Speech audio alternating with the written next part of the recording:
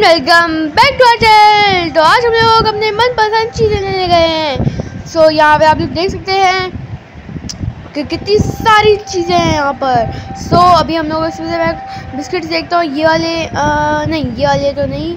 आ, ये ये इतने सारे फ्लेवर्स आ गए। चलो एक काम करते ये ले लेते हैं। और मैं प्रिंस भी लिए थे।